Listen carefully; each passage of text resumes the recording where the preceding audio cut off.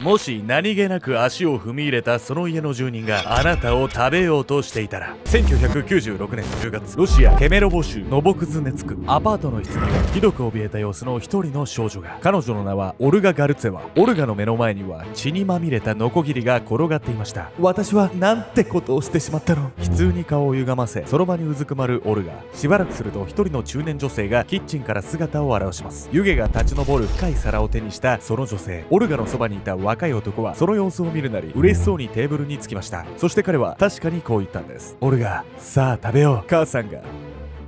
君がバラバラにしたお友達でスープを作ってくれたぞ。少女に友人を解体させその人肉を振る舞う男。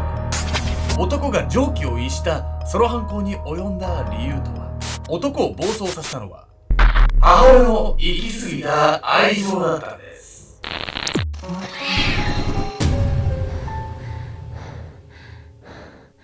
そうっす。初めてのファンイベントの会場がなんかいいとこあったけど、なんか予約いっぱいで予約できなそうで、今年の後半になるかも。ごめんなさい、ケンちゃんです。詫びの品求めてます。ヤミコです。えー、おめえ詫びる方だよ。あ、そっか。一緒にやってんだから。本日ご紹介するのは、ロシアで5本の指に入るとされている凶悪殺人犯、アレクサンドル・スペシフツェフについて。もうこれすっげえ読みづらい。シフツェフ。スペシフツェフについて。で、この犯人の何がやばいかっていうと、うんこの犯人のね、殺人事件に手助けをしていた母とのその関係性っていうのが、もう聞いただけでね、そんなお母さんいるって思うような内容だったんですよ。ええもうはい親子で殺人を犯してるってことでしょ、うんめちゃくちゃ闇深そうじゃない、まあそうなんです。この母親のね、育て方に問題があったとも言われてるんです。そしてこのアレクサンドルは途方もなく殺人を繰り返していったんですけれども、この男の犯行は街中の川で発見されたあるものから徐々に明らかになっていくんです。恐怖の残骸。1996年6月、ロシアケメロボ州ノボクズネツク、町の中心を流れるアバ川に複数人の女性が洗濯に訪れていました。そんな最中のこと。あら、川底に岩とはまた違う何か大きな物体が沈んでいることに気がついた女性。彼女は不思議そうに首をかしげながら、その物体に近づいていきました。次の瞬間、大きな悲鳴を上げた女性。そこに沈んでいたのは、切断された子供の頭部でした。ちょうどその時パトロールの警察官が近くを通りかかり女性が事情を説明。直ちに捜査が開始され川の中からは数週間で複数の子供の遺体が見つかったんです。しかしこの時点で事件はそれほど重要視されていませんでした。アバ川で見つかった遺体はいずれも家を持たないストリートチルドレンのもの。被害者の多くが素性のはっきりしない子供たちだったため警察も本腰を入れて捜査に乗り出すことはしなかったんです。こうして事件はうやむやになってしまうかに思われたんですがこの4ヶ月後意外なところから犯人の正体が判明するんです。1996年10月24日ノボクズネツクピオネルスキー通りのアパートを訪れた配管工はある一室の前に立ち尽くしていました。うん困ったな。近隣住民から排水トラブルの通報を受けその部屋の配管の確認に訪れた配管工。しかしその部屋の住民は一向に扉を開けようとはしないんです。俺は精神病で母親にこの部屋に閉じ込められている。ドアを開けることはできない。明らかに様子がおかしい住民の男。拉致が開かないと踏んだ配管工は仕方なく警察へ通報するんです。え、なんか隠そうとしてる感じもするし、なんかめちゃくちゃやばそうじゃない？中でうん。何が起きてんの、お察しの通りですね、アパートの中では思わず吐き気を催すほどの光景が広がっていたんですしばらくして到着した警察は住民が堅くなに開けるのを拒んだそのドアをこじ開けました。すると室内にその男の姿はなくソファーの上で一人の少女が血まみれの状態でうずくまっていたんです。で大丈夫か？あいつはベランダから逃げました。意識も朦朧とする中消え入りそうな声で何とかそう告げた少女部屋の壁には大量に血が飛び散った跡が。そしてその部屋の床ではその家の飼い犬が人間の肋骨をかじっていましたその他浴室には首のない遺体が複数。そしてキッチンのシリアルボールの中には大量に盛られた人肉が。ちょっとグロすぎるんだけど、マジで。何も大量のお皿に盛った人肉？殺して食べてたってこと？その通りなんです。この逮捕された男の証言からこの男とですねその母親の異様な関係性が明らかになっていくんです。過保護と精神崩壊警察が犯人のアパートへ突入した後室内にいた少女はすぐに緊急搬送されました。少女の名はオルガ・ガレツォワ。胸を何度か刺されていた彼女は治療を受けながらも警察に情報提供をしました。犯人はアレアレクサンドル・スプシフスプシフツェフとその母リドラ。母リドラはその日のうちにそして息子のアレクサンドルは3日後の10月27日に逮捕。警察はこの時点でアパートから被害者のものと思われる衣服を80着以上その他裸にされた被害者の写真を大量に見つけていました。取り調べの結果主犯のアレクサンドルドルはすぐに犯行を認め合計19件の殺人を自白。そして同時に耳を疑うような供述をするんです。殺した女の子は母さんがスープにして食べさせてくれたよ。どういうこと？この事件で母リドラが担っていた役目は被害者をアレクサンドルのアパートへ誘い出すことと遺体の隠蔽。その一環で彼女は息子に人肉料理を振る舞うことがあったというんです。明らかに異様な2人の親子関係は一体どのように形成されていったというんでしょうか。1970年3月1日アレクサンドルはノボクズネツクの町で生を受けます。幼少期のアレクサンドルは体が小さく病弱だったため母リドラはいつも彼のことに気をもんでいました。ただそうした事情を踏まえても彼女の振る舞いは少々過保護すぎると思えるもの。さあアレクサンドル母さんのところへおいで。毎晩アレクサンドルを自分のベッドへ誘うリドラ。アレクサンドルは12歳まで母親と同じベッドで眠っていたといいます。一方で父は酒癖が悪く暴力的。アレクサンドルに危害が及ぶこともあったため母リドラは早々に離婚。こうして身の回りに一切の脅威がなくなってからアレクサンドルの様子は目に見えておかしくなっていったんです。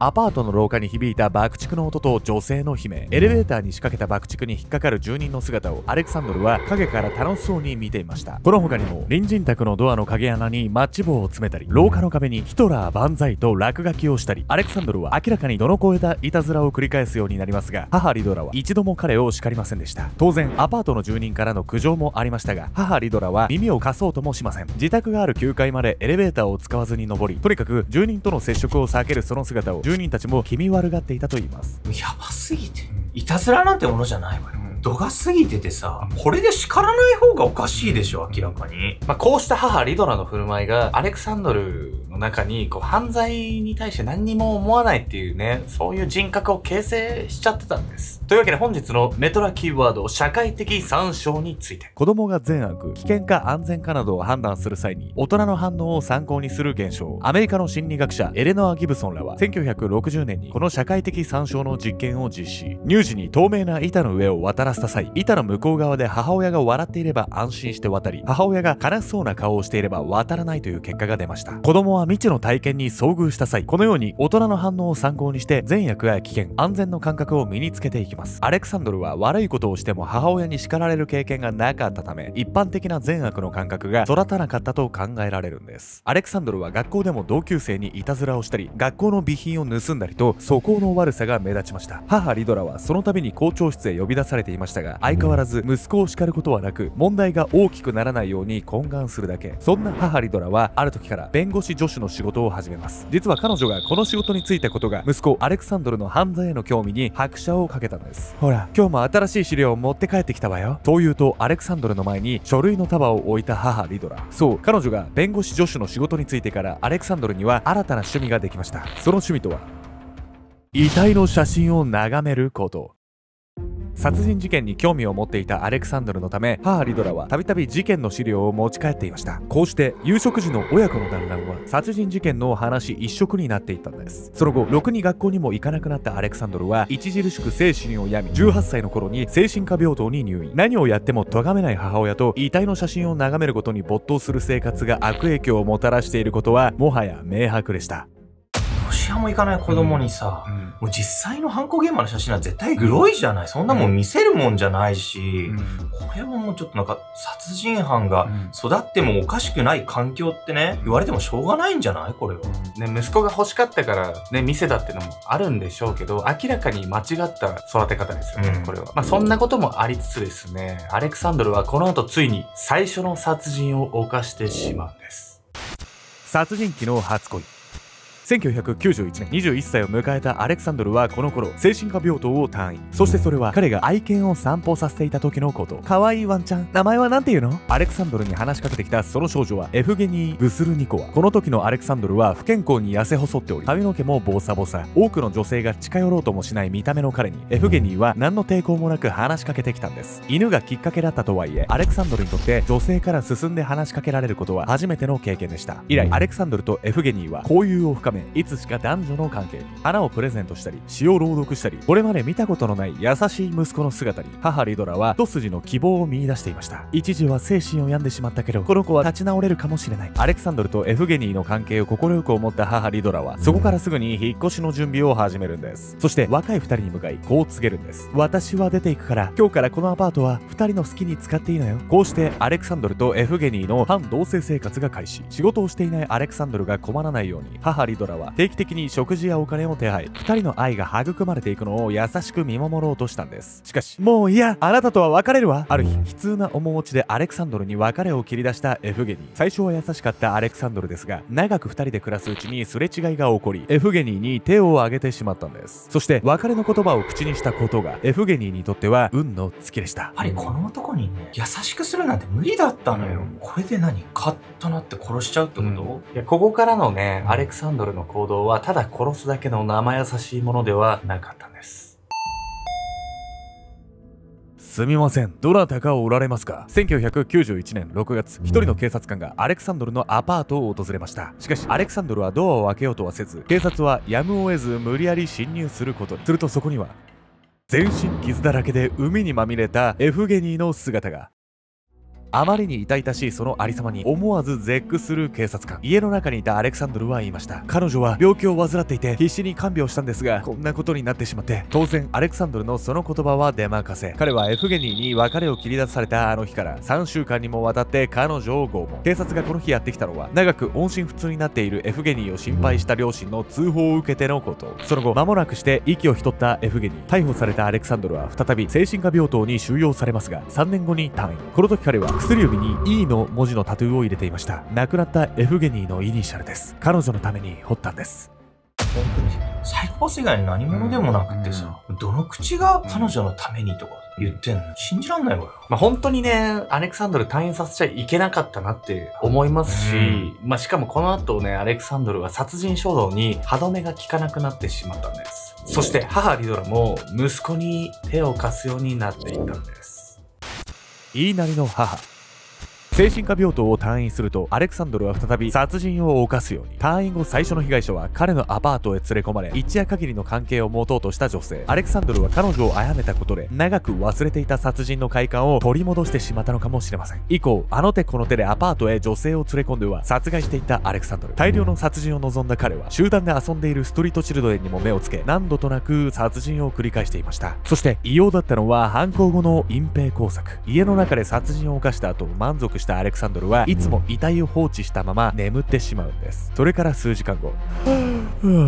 また母さんが来てたのが眠い目をこすりながら部屋を見渡すとそうつぶやいたアレクサンドル。そう被害者の遺体はいつも母リドラが処分しておりアレクサンドルが目を覚ます頃には部屋は綺麗な状態に掃除されているんです。あの子が明らかにおかしいのは分かってる。でももし逆らったら次は私の番かもしれない。母リドラは自分の教育のせいで怪物に育ってしまったアレクサンドルにどう接するべきかもはや自分でも分からなくなっていました。そしてリドラはいつしかターゲットを誘い出す役目も担うようになっていたんです。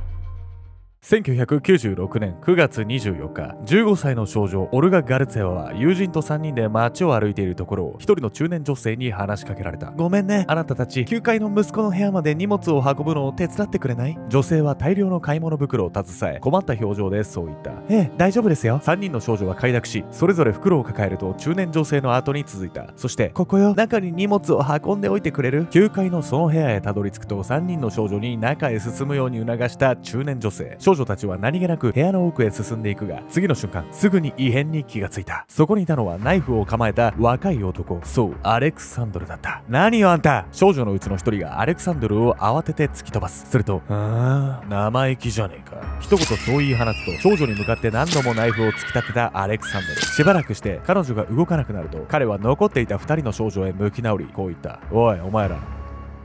今死んだ友達をバラバラにしろ